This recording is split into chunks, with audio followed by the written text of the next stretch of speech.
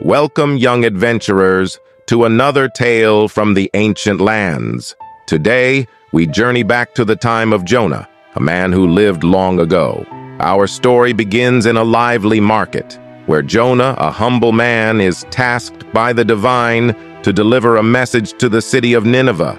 But Jonah, afraid and unsure, tries to flee his destiny. Jonah boards a ship headed far away from Nineveh, seeking to escape his responsibility. But the divine has other plans. As the ship sails on the stormy seas, a great tempest arises, threatening to engulf the vessel.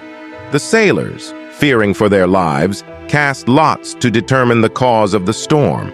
Jonah, realizing that he is the cause of the storm, asks the sailors to cast him into the sea. Reluctantly, they comply, and Jonah is swallowed by a great fish. For three days and three nights, Jonah resides within the belly of the fish, praying for deliverance and reflecting on his actions. Finally, the divine hears Jonah's prayers and commands the fish to vomit him onto dry land. Jonah, now resolved to fulfill his destiny, journeys to the city of Nineveh. There, he delivers the divine's message of repentance, urging the people to turn away from their wickedness.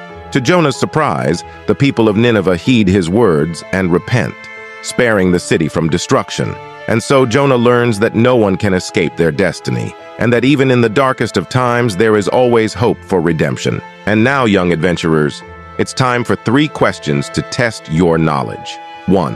What was Jonah's initial reaction when tasked with delivering a message to Nineveh? 2. How did the sailors react when they discovered Jonah was the cause of the storm? 3. What important lesson did Jonah learn during his journey?